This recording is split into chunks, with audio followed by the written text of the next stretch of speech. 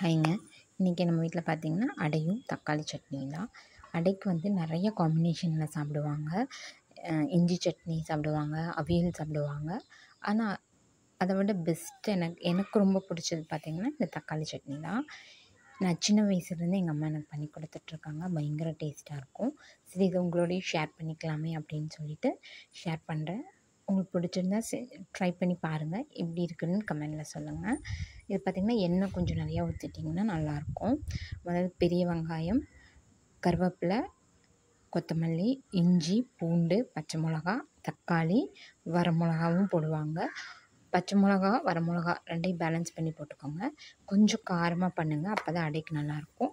காரம் கம்மி பண்ணிட்டிங்கன்னா மித்த மித்த டிஃபன் ஐட்டம்ஸ் எல்லாத்துக்குமே ரொம்ப ரொம்ப நல்லாயிருக்கும்.